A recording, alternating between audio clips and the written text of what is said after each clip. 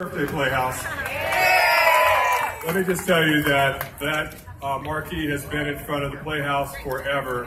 State Historic Landmark Theater, official theater for the state of California. And when we said to the state of California, as a result of that, 100 years, we're going to be marking the anniversary for the Playhouse.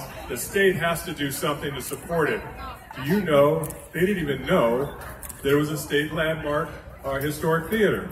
And so they had to go back in the records and find it that it was officially a landmark theater for the state of California. When they did that, it made it a lot easier to get the million dollars.